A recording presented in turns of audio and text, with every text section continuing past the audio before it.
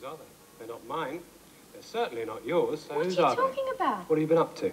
Nothing. It's not the first time. You've been two-timing me, haven't you? What? I'm not going to stay here and be insulted. Oh, really?